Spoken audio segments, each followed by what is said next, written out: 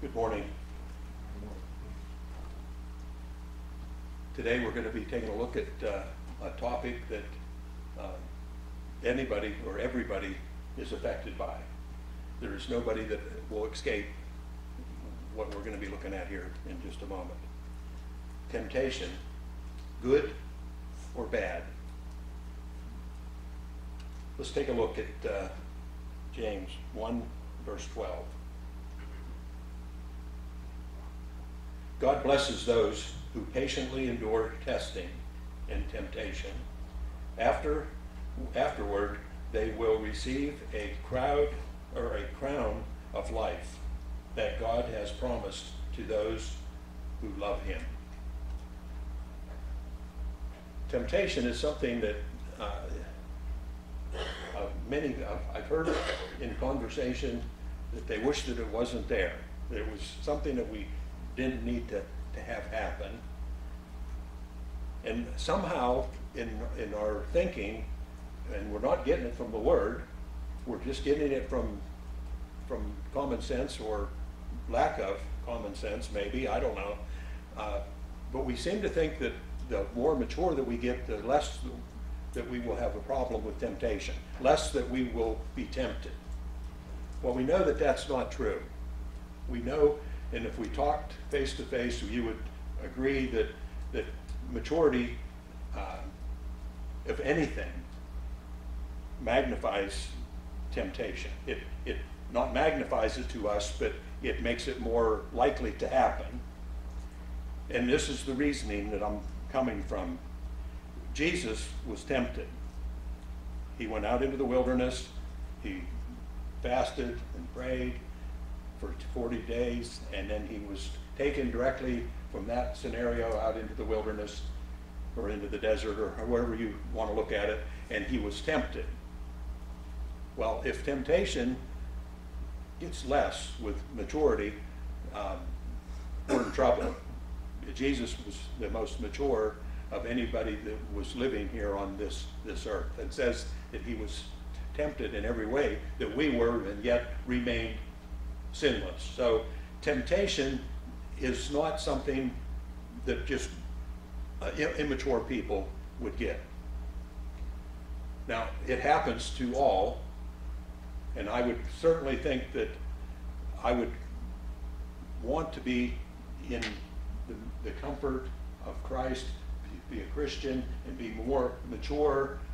But if you weren't, if you was one of those, uh, if there's even such a place, to be a fence rider or somewhere in there, um, does the Lord or does Satan even have to tempt those as much? If we're certainly not living for the Lord as closely as we need to be, Satan's not going to rattle your cage with temptation. He's going to just let you go on your merry way blindly and hope that that is enough. Now, if you would happen to get on the right track and head in, in the direction of, he could throw in something that would trip you up again. But temptation that we're talking about here today, and mostly what we're, is for people that are living for the Lord, you're never going to get away from temptation. You cannot, in the Bible, we somehow, I've heard people say this too, uh, you need to resist temptation. No, you don't resist temptation. If there's any resisting done, it's against Satan. We, the, James tells us further into the James here that if we resist Satan, and stick to, to that, he will flee from you. Temptation, if we resist it, we're, we're spending more energies thinking about it, and that's where temptation takes root. That's where Satan is able to work on us. It's in our thoughts. That is the beginning of a temptation. The thoughts comes into our mind. So we can't escape it. There is no way that we can uh, do it. Every temptation is an opportunity to do good or to do the right thing, to be above, to not fall into the trap that Satan is planning in the temptation. It's every one that you get. Every time that you're tempted, it's an opportunity to do the right thing and grow. Which, in that regard, if we follow that prescription, we do what it says, it's good. It's awesome. Now, I'm with you today. I would rather not have to deal with temptation, but to get to the place where God wants us to get, there has to be temptation. There has to be a way for us to, to exercise what we're learning and what we're gaining so that we can become more mature. Growth. That has to happen. Temptation are there. there that's why we said it's every opportunity. In that same breath, for Satan, temptation is his primary weapon to destroy you. It is his primary means to, to get us, to knock us down, to destroy our walk with the Lord. So, in one hand, God's using it to make us grow, and it's also the greatest weapon primary weapon that Satan's using to take us down. So it's a fine line. It's going to happen, and it's the choices is, are there. God is using it for our primary way of growth. If you think about how you grow, fighting these temptations, battling them, is going to cause us to, to grow. Just like uh, are plants and trees that are in the, out in the fields and the woods. They grow deeper roots and stronger roots when the wind blows against them. If the tree never had any wind against it, it probably wouldn't take huge windstorm to knock a tree down. The roots wouldn't grow down in very deep, only enough to stabilize it and keep it standing somewhat straight. But it's the wind and the weather that comes against the tree that has it anchor itself deeper. That's the same thing that happens in our walk with the Lord. When we have resistance in the form of temptation, trying to stay above that, stay, stay away from uh, falling into the trap of that, we, we have to sink in spiritual roots down deep into the ground in our life so that we can stand against it.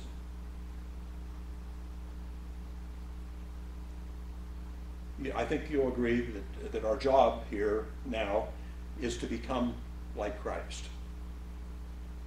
And when you think of becoming like Christ, what do we look at? What is the thing that we need to be to become like Christ?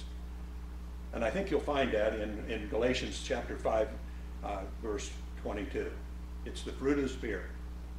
Jesus was perfect love, perfect peace, perfect joy, perfect, all of those fruits. Jesus is a prime example of what that looks like in, when it's lived out in, a, in, a, in the world.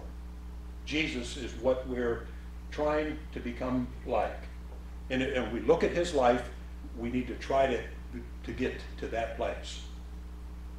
So Satan is going to come in and if you look just above that in Galatians, you'll see uh, Galatians 5, uh, maybe 19 to 20 or something in there. It tells, basically, I, for all practical purpose, I call it the fruit of, of the flesh, the things that the flesh wants to do. And so we have a contrast with what Satan's trying to do in our life, what the flesh wants to do, and then what God wants us to do in the fruit of the Spirit. So Satan it, we've known and seen here that he is using temptation to try to destroy us and keep us from becoming like Christ, to becoming love, joy, peace, patience, kindness, goodness, all those things he's trying to stop us from doing, and he does that through tempting us. Now,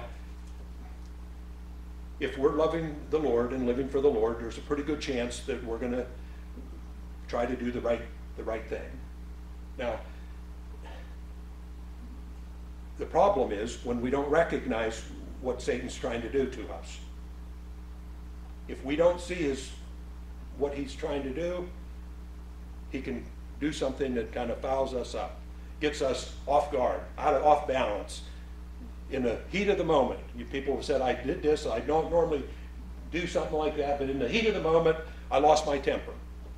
In the heat of the moment, I did something that I shouldn't have done. Well, Satan is, he's happy with trying to throw something into our life. All of a sudden, he doesn't warn us, I'm going to tempt you, so get braced for it. No, it's going to be a, a broadside slam. Uh, we're going to get hit when we least expect it, maybe, and, there it is. We're in the midst of a temptation, and Satan wants to use it to destroy us. God wants us to use it to grow and to mature. That's where it's at.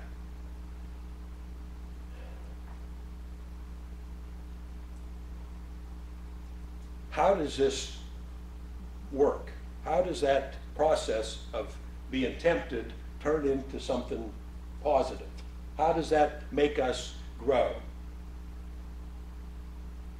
I don't know why we I think we know it on paper, but to live it out, we, we like to go to the place of least resistance, place of least persecution, least the best, easiest effort for us is where we want to end up. And the flesh likes that. The flesh doesn't like the wind blowing against it. The flesh likes calmness and peace and all the things that go along with that. However, does that happen very often? Very seldom do we ever run into a place like that. And then ask yourself if we were always in a place of, of peace, would we know for sure that we have attained the character of Christ in peace without testing? So it's my estimation here is that Jesus is our example, and let's go with the beginning of this here. He's love. He's perfect love. In fact, the Bible says that, that God is love, and if we know that God is love, then Jesus is his son, and he is part of that same thing. So Jesus is love. And he, has, he portrayed that uh, multiple times, and especially over the past couple of weeks uh, of, of his life there when he had to deal with the uh, coming into Jerusalem with being victorious and, and uh, triumphant, only to find opposition the next day, maybe even further that day yet. Jesus was perfect love. And he had to deal with that all through his, his walk here on life. So here's what God does. He says, you need to become like my son in love. So, what I'm going to do, I'm going to put you in the midst of unlovely people. And then you'll have the choice to become like Christ, or you can battle it and you can fight the unlovely people and you can you'll, you'll just not learn that characteristic that we want you to learn in love. So we'll spend our life only loving people that love us. And we haven't got love when that happens. We have not attained what Christ was trying to show us.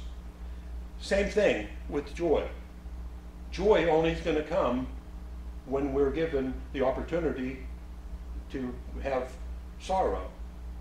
So this is like a uh, in-school training thing here. Uh, we learn all about all these different subjects and so forth. And how do we know that we've learned it? Well, the school takes a test every now and then. They have a, a chapter test, and then they have unit tests, and, and then at the very end of the whole school year, they do a whole, a bigger test that sees if we've learned anything over the past year. Well, God is and, and for us, we want to know if we're making progress in becoming like Christ. So we are tested so that to see if we have joy, we have to deal with sorrow. In some form of that, we're going to be dealing with problems of, of, of such as sorrow. In all of these characteristics of the fruit of the Spirit in Christ that we see, and we want those, the opposite of, of all of these, such as you know again, love, joy, peace, patience, kindness, goodness, thank or faithfulness, gentleness, and self-control. We don't know if we have those traits unless God puts in our path the opposite. Well, God doesn't have to be the one that actually puts it there. He knows Satan's going to put it there, so he's going to use what Satan's trying to do to turn it into something good. And it reminds me of the scripture that we talk about. Those that are intending for bad, I'm going to use it for good for you. So that's what it is for the Christian. That, that's, that's what can happen. That's why when I started this, I said every temptation is an opportunity to do the right thing and to become stronger, more mature. And that's the way it works. There is no way that somebody could boast about being faithful unless they were put in situations that they could be unfaithful. We know that life is full of opportunities like this. And, and it is my estimation, the better we're doing, the more we're growing, the more Satan is throwing in everything that he can in the form of a temptation to us to get us to trip up, to get us to do the wrong thing instead of the right thing. And so there we have uh, the problem. It takes the very opposite of these fruit of the Spirit to get us to learn what they are. Patience. People say, I'm patient. Well, you are or you're not. Patience is one of those things that I have a hard time praying for and want. Because somehow I know that to get that patience, I'm going to have to go through a lot of things that's going to test my, my patience. One of them has been happening over the last six or eight weeks here with, with Teresa. More so probably with her than me, but it's been rough on me to see hope, to see things get better, and to want her to get to where she can walk and be able to come back to church and teach and get up here and, and lead worship. not that we're rushing to do that because Shirley's doing an awesome job, thankfully, and we got people filling in. That's just God's church doing what they're supposed to do. That's good. However, for Teresa and I, God is testing our patience and faithfulness and a number of other things, kindness and and all of these things go. Uh, you need all those things to see this thing unfold. It's hard for somebody that's praying for somebody to see signs of improvement, and then it's almost like it's a, you know, and hopefully the humps and the high points get higher than the valley, you know, eventually here. And, and I see hope. Teresa just asked me yesterday, we were sitting around on the porch for the first time with this nice weather and in the evening, and she said, do you think I'm ever going to get to be able to walk? And I said, my goodness, yes, I think you, you're going to. I said, look, just transport your thinking back here about five, six weeks and see what you was doing then and now. Well, she says, well, I know I'm going pretty good on the walker, but what did doctor tell you? He said, we go like crazy on the walker. When you get to the end of the walker, we get a cane. And then the walking comes after that without a cane. So I said, yes, you're, you're gaining ground unless something comes is thrown into the mix of things again. You're headed in the right direction. And at the end of this, if we continue to have faith that God is working for her good and working it out to where she'll be able to maneuver and, and do things again, at the end of that, she'll have faith and we'll have patience more. And, and along the way, you need kindness and so forth to work with, with some of the things that don't go our way. But that's what it's all about. Let's take a look here now at what temptation, how does it work? How does temptation work? Satan, I want us to look at this right off up, up front. I said it's helpful for us to see what Satan's up to. Satan is predictable. He doesn't change much from the garden scenario with Adam and Eve. Satan is not like God. He is not a God with multitudes of variety and uniqueness, and he doesn't come up with a plan for Vic and one for Punk and one. He might use some different things, but basically he uses the same things that he's used for these many years, the whole from the beginning of creation until now. His goal is to destroy people. He has his toolbox or tackle box full of, of temptations that, that have worked over the years, and he's going to go to those. The only thing that Satan does is he knows what worked before for me. So he's a, in that regard, he's kind of sharp. He knows what worked for Vic. He knows what worked for me. So I'm not going to use anything else. I know that some people can't handle this temptation or they, they think about it. It's hard to get through. It's an area of our, our weakest area that we have. The one that we have the most struggle of lining up with, with Christ.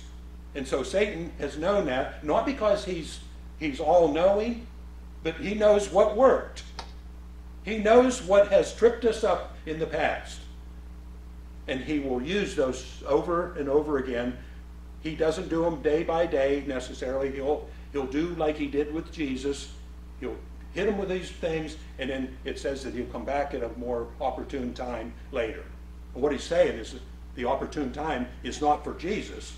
The opportune time is for him. When he thinks that somebody's at their weakest point, he'll come and attack. I don't know about you, but uh, when I was, I seen some of these uh, Easter, Christmas, or Easter uh, TV specials. And I think it was especially the one uh, the, with, um, what's the Mel Gibson one? The one that we were just, The Passion. Yeah, I just escaped there. Uh, during that time, you'll see clips during the whole thing with Jesus in the midst of his ministry and doing some things. And, and then all of a sudden, you'll see this little guy come into the scene and he'll try to proposition Jesus into doing something. And he was assessing, okay, Jesus is now going through some very, very trying times right now, and maybe he's weaker, and maybe I can, I can get him to give in to some of this. Now that would have been victory over victory if they could have, if Satan could have tempted Jesus to, to do the wrong thing. What would have that meant for us? we would have been setting ducks, you know. We, could, we would have been like at a carnival, you know, and the thing just keeps going around until they pick them all off. That's what we would have been like. But Jesus held his ground and he stayed true and faithful. In all of these fruit of the Spirit, he stayed true to God the Father. He came for a purpose, he did the purpose, and Satan, although he tried many times along the way to get him, he couldn't. That's what will happen to us. Satan knew what works, he uses those things at the right time in our life to, to get for his for to do what he's trying to do. And the Bible is very clear, his plan. He, he came to destroy. That was his job. Jesus came to heal and to, to save. Satan came to do the opposite. And so he does that. We put more credit on the Satan. We give him more power than he has. If we don't tell him that we're having a problem in certain areas, he doesn't know it. So he's got to experiment with temptations out of his many lures and many play, things and schemes that he has in there. So Satan is predictable. That's good. for us to know what he has done in the past, he's going to try to do again. There's a pattern to temptation that is always the same. And it's in the scripture. It's in a, James 1 14 and 15, if you want to turn and look at that. I'm not going to read that. Uh, well, I may read that, but I, it's there. I'm going to share something about it first. It, the pattern is first desire, which is thought. We can't do anything about coming, passing thoughts. They come into our life. Now, the second thing that happens is doubt. Doubt comes after the desire. The doubt is Satan whispering in our ear, saying to us, um, Did he really say that? Is that what God meant when he said that? Are you sinning if you did that? No. What did he do to Adam and Eve? He said, God didn't say that. Will you surely die? No, you're going to become more like God. He doesn't want you. You're going to have the knowledge of, of, of good and evil. You're going to know, you're going to be like God. Well, he's putting thoughts in the, into our minds, into Adam's mind and, and Eve's. Like, wow, wait a minute, God's withholding from us. And, and it gets them looking like God's not the good guy. He's, he's, he don't want us to eat from that tree because that's gonna, it's gonna make us like him. Was there any truth in what, Adam, uh, what Satan was saying? Yeah, just a little bit. A little bit. We will know the difference between right and wrong after we've ate from that tree. After we sin, yeah. Are we going to be like God? Not really. Only in one regard. So Satan is good at telling partial truths at best. Mostly you can bank on what he's saying as it's a complete lie because the scriptures and other places tell us he's the father of lies. He is the one uh, that if you're looking up lying in the in the dictionary, his picture would probably be beside it. That's he is a liar. He is there to ruin us, not to help us. He never does anything that's going to help us follow the Lord. He's going to do only those things that help us to fall deeper into the pit. He doesn't want us to be able to survive, to come back out of any of that. So that's kind of where uh, this is working. The, second, the third thing that happens in this progression from a, from a temptation until the end of, uh, until we give in to it, deception is the next one. It's similar to the doubt, but it's a little carried a little deeper. He's got us hooked, and now he's, he's setting it further into it. And then the final, uh, the final one, the final step in, in temptation is disobedience. And if we want to call it disobedience, I just want to call it what it is sin. So that we have a clear picture of what, what's happening here. The end of temptation is sin, which, if you look at what that says in the Bible about that, is we're separated from God. Actually, death, if sin is not corrected. If we die in that sinful, disobedient place, we're dead. We're dead spiritually, uh, which is even a greater, uh, worse scenario than being dead physically. We can be dead physically and still be saved spiritually, which is the most important thing. But to be doubly dead is, is horrible, and we're totally separated. We should never blame God for temptation. God is not the one that tempts us. James is real clear about this that we are enticed by our own lustful desires. And when we start playing on our lustful desires, those thoughts that are in my head that I ought to have that, or I need this, or I want more power, or, you know, and I can have that if I just do this. If we follow those thoughts, that, that's, that's that flesh working on us. we can't blame God. Who can we blame? Us. Because we know that Satan's trying to kill us, destroy us, take us away from God, and God wants us to go. And so here's life, and we choose Satan. How can we blame God? We can't. It's not God's fault. God will help us. God will work with us. And to, let me read James 1 4, 14 and 15 here to show us a little bit about how this, this works.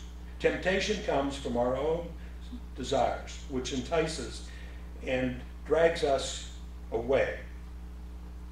And when sin is allowed to grow, it gives birth to death. That's, the, that's Satan's plan in a nutshell.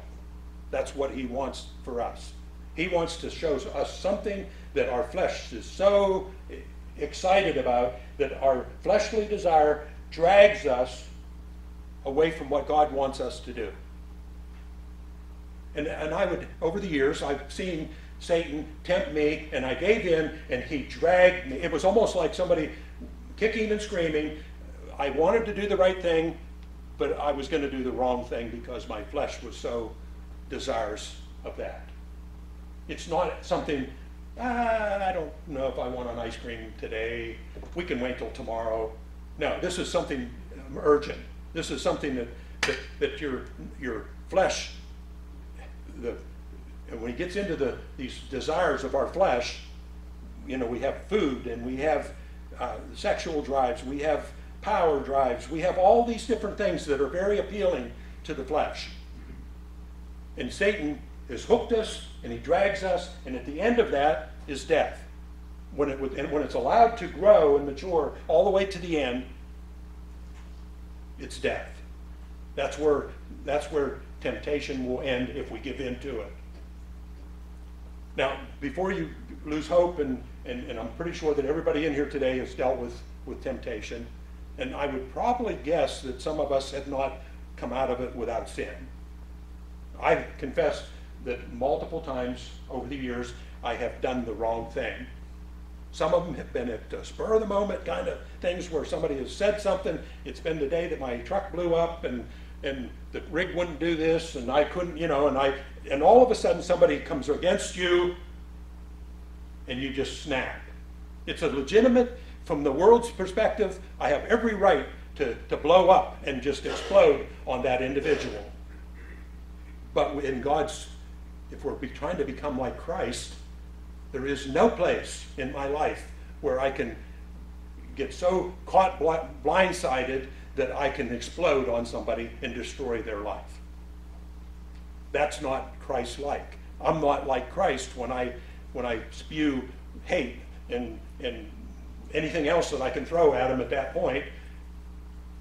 That's not that's not productive. So in that sense, I've failed that eh, test, that temptation that was thrown at me, I failed.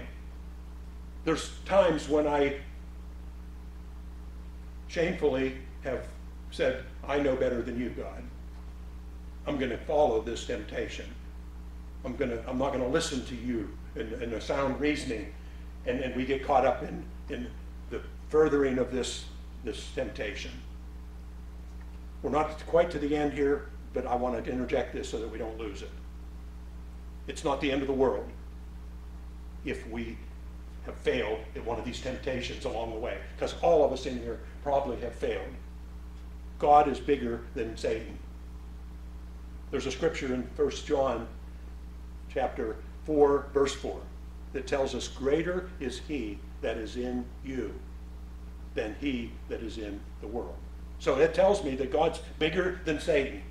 The Holy Spirit is in us, and He's much bigger and more powerful than anything that Satan can do to me. So I already have the access to, to win, and I also have the access for God to say, You're asking me for forgiveness, and I'm going to freely give it to you. So we can start this process over again.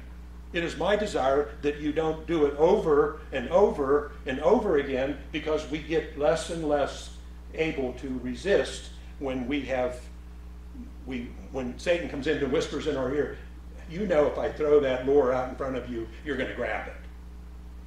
You're going to take it. Because I know you've always done it.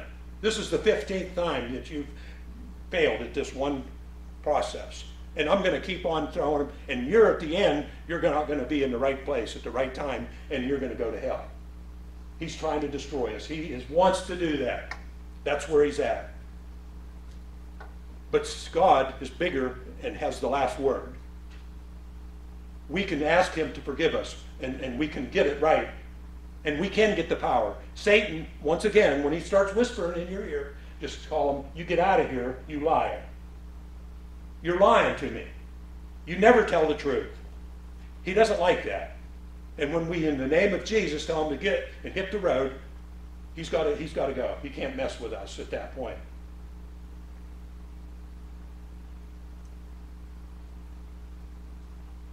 How can we win over temptation?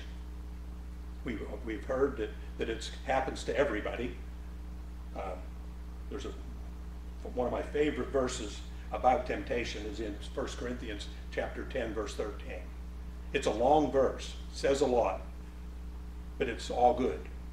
No temptation has seized you except what is common to, to man. And God is faithful. He will not let you be tempted beyond what you can bear. And here's the good part if that wasn't good enough. But when you are tempted, he will also provide a way out so that you can stand up under it. This is another reason we can't blame God. Some will say, well, God said it, there's no temptation that I can't stand. So they put their, their hat on and their jacket and they run right out into the fire and think that they're going to be okay because God said there's nothing that we can't do. So anything can happen. God's going to be bigger. He's going to help me to overcome any of that. No, he taught us a lot. In that last verse there, it says, that, but he, with that temptation, he's going to provide a way out. Now, when we get ready for that temptation, when it hits us, you can look in front of you, and whatever you need to get out, to get away from this, it could be a pair of Nike sneakers, it could be uh, the Bible, it could be this, it could be that, and he'll say, put them on and run. Get out of here. We're not to resist temptation, but running, this is about the only time that running is viable. You can't run from God. It doesn't pay to run from a bear unless somebody slower than you is behind you. There, there's things you can't get away from. You can't run away from yourself and your troubles because when you get there, you find yourself there in the problems. But temptation, it's a situational thing. And we're dealing with somebody that's not God that's bringing this stuff. So He's enticing us in a physical way. So if you get away from that temptation far enough, you, it can't get you. So running might be one of the ways that God wants you to get out of there. The other way might be the way Jesus did it when he was tempted. He knew the word so well that when Satan lied to him, he says, This isn't the way it is, really. We don't live on bread alone. So these stones here, I turn them into bread. That's not I live on God, my Father. He showed him the power and all that. And every time that he was tested, he hammered back at Satan, this is how it is, by the word. Satan, after the four that we see in there, he decided, we, I better leave him and work on somebody else, and we'll come back later with you. So that's what he did. That's, that's what that scripture is saying. But it tells me that I'm no different than any other human that's ever lived. I'm no different, actually, in, in respect that Jesus had to go through all this himself, too. So there isn't any temptation out there that's, that I'm going to come up against that's not going to be already been worked out and planned. Every man and woman and child, teenager, everybody has had to deal with the, all these. So when you're tempted, it's common it's nothing special. It's just one of his old tricks that he has. Which we know that, and that helps us to know that Satan just does the same old things over and over again so that we can be planned and we can at least know what to look for. And if you're weak in an area, you might as well know that you better guard that area and, and not do that. So when you look out here, he might say, uh, here's an alternate route. I could go straight and get there quicker, and Satan would be the guy on your shoulder telling, don't go way out around, just go straight through here. And he knows that if you, if you uh, uh, have a problem with alcohol, and he can get you to walk by the bar, and some of your buddies are sitting in there watching out the window and the door, hey, come on in here and have one with me. You know, if he was over here out, out of the way like God made the plan for, you're free from that. And maybe one day you could go by there, but why would you want to? I mean, unless you're going in there to save somebody. I, you know, you get those guys that say, well, I, I was only in there because I wanted to win them to the Lord. Well, you might do that, but how, what's the chances of winning somebody to the Lord in a bar? I, I mean, they're in there for one, I mean, you could go down that route if you wanted, you know, and, and you could say the same thing, oh, I just went into that prostitute. I'm, I was really, my whole agenda was to save her. Well, yeah, okay, you could say that, but God knows our heart. He knows what's best for us. So temptation is there. Don't, if we're weak and we're having trouble, He'll give us a way out. Use it. Why don't we, aren't we successful with defeating and overcoming, say, temptation more? Probably the first biggest one that I can think of is that we raise our hand to God and say, I got this. We've done this a couple of times. I know by now. I'm strong enough to handle that. And so we won't let God help us. We don't have the scripture waiting to, to hammer Satan. We, we're going to go through it. I'm strong. I'm mature. I'm, you know. Well, are you? Or are you just saying that? We don't ask God. He says, ask for help. Immediately. There's, I read here this week, there's a guy that said he calls these immediate prayers when we're faced with a blindsided temptation, call them shotgun prayers. You don't have time to, to, to go into all kinds of different theories about prayer and how your weather doing and how's this and no, we're uh, help me, Father, to be strong and come and help me right now. That's a, that's a prayer that is uh, viable, it's good, and we need those. And we use those. We come to the Lord quick. He won't allow us to be tempted beyond what we can stand. Now, there might be a, a temptation that Satan wants to use on you, and, and this would be a rare thing that you are not prepared for, that you would no way stand under it, and God knows it, and He's going to protect you. He's, he's, he is the way out. He's going to make it like people have said. I was on my road, and I, I, I uh, lo and behold, I, I was late for this, and, and a tree fell across the road in front of me, and I, we, I had to turn around and go a completely different way. That would be maybe God keeping you from a temptation that, that you couldn't have stood against. You couldn't have stood against it. So there are times when God just himself will say, here it is. So our pride could keep us from being victorious in temptation because we think we're hotter than, than we are. We are not that powerful. We are not a match for temptation without God. You're going to lose eventually. It will always happen. Temptation is stronger than we are without Christ. That's why a Christian has a little, quite an advantage here because we have all kinds of, of tools and helpful things that will keep us from giving into temptation. The more we use them, the more we learn them, the more we use them, the stronger we become. Satan will work on you only if it's successful. You'll quit, you'll come back and try it again. Then he has to come up with a new plan for you because that one you've you've outgrown that one. You have grown with the Lord. You know, like Jesus knew, that we don't live on bread alone. We don't test the Lord, our God, by throwing ourselves off of the top of a mountain and say, God, you're going to catch me. You, you could.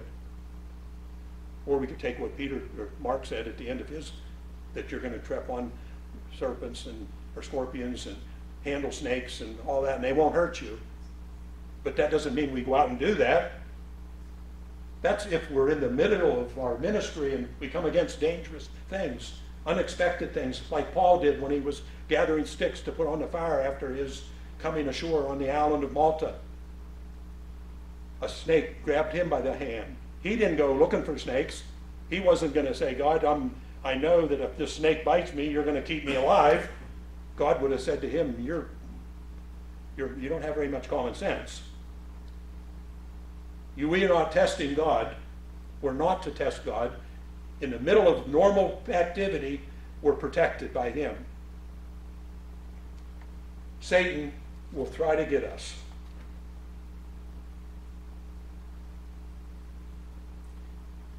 God wants us to win. The only way that we're going to win on a regular basis is to know the Word, to not be afraid to go to the Lord and say, I need help again. If we do all these things that He has prepared for us, and then to have the common sense to know, this tore me down once, so I better not go knock on a door and see if you want to come out and play. So I'm going to go a different way.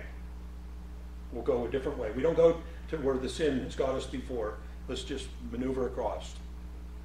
Let's not tamper with that. Sin gets us when we handle it. If we don't handle it, we come out of it a lot better. That's what God is telling us. Be wise. Be wise as serpents, but harmless as doves. Don't use, use common sense.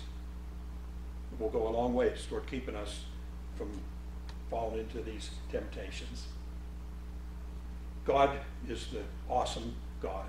Temptation is there. We cannot avoid it, but we can beat it with God's help. And the good thing is, we become more mature and grow every time that we've met Satan, the temptation, and defeated it. We're stronger. The next time he's going to have to do something a little bit more flashy, a little bit more to get us to do it. And then pretty soon that we won't be bothered with that one. Doesn't mean temptation's gone. It just means right now we've survived, we're stronger, and we're headed down the road to heaven. If we don't battle this and win, if we don't become like Christ, which I'm not saying that next week you, you defeat this, you're going to be just like Christ. No, we got to become like Christ, and we're in the process of becoming like Christ our entire time that we're here. I don't think we're ever going to be totally as good as what Christ was. We're not going to be as quite as effective, but we are coming like him. We know the scripture tells us that we need to be striving to be like him. And so we keep trying, we keep defeating, and we keep, once in a while we get beat up and we fail, but we get up and go again, and next time we're, we're a little wiser, we go to the Lord quicker, and, and we, we come out of it better. So you're going to be tempted, and the more you're tempted, take it as a, um, a compliment from God. Only the mature, the maturest, are going to get tempted. God has, Satan has the ones that have failed already. He's not going to rattle their cage and say, hey, I'm going to bring you some more temptation. I'm going to get you deeper into the pit. You know, you're in the pit. You're in the pit. He doesn't need to mess with you. But if you're on the other side of that, he's going to keep pulling you till he tries to get you down where you're destroyed completely. So keep on, keep that in mind to know that, that you need help. You need help. It wouldn't hurt to have a Christian brother to support you. to help you, and you could help them, and the two of you can do better. The scriptures are clear about that too, that two are better than one when it comes to staying away from, from the downfalls and the pits of life. Temptation would certainly fit into that. A rope of three strands or two strands is better. So the more the merrier, but we need somebody. But if you can't find somebody, you got a friend in Jesus. You have a friend in God. He will guide you, he will help you, and he can give you for sure honest, truthful, and he's faithful, and he won't let you be tested beyond what you can handle. That tells me that when I fail at a temptation, I didn't have my right perspective. I didn't see, I, I, I probably stepped over what God was using to help me. So look for the ways when you come up against temptation. The first thing that ought to come to the Christian's mind is how is God going to help me to get through this? Am I going to just turn and walk away because the Bible says you don't test God? You don't live on bread alone? You know, we know the word. We can defeat Satan by his lie. We can just say, here's the truth, and, and give him the truth, and then walk away without giving any thought. We fail because we don't see what God uses to get us out of our temptation, or over it, around it, under it, or whatever. And sometimes through it, but rarely is it that way. Usually it's, he gives us an escape so that we, we can go. Let's close in prayer. Father, we just love you today. We thank you for everything that you have done in our life, what you are continuing to do. And I pray that we'll take this passages of Scripture that we've looked at today in James and in uh, Corinthians and First John and, and take all these things at heart so that we can know best how to serve you, how to uh, um, get past these temptations so that we start to look and act more like your son Jesus. That's what it's all about. That's what we're trying to do. And, and let us not be mad at temptation, but look at it in a good light. That it, every time that I defeat you, Satan, I'm going to be stronger and I'm going to be closer to the Lord. So it's a good thing, you know, and for the Christian to be able to have temptation so that we have opportunities on a regular basis to serve you and to live for you and to become stronger. So we just love you today. We thank you and ask this in Jesus' wonderful name. Amen.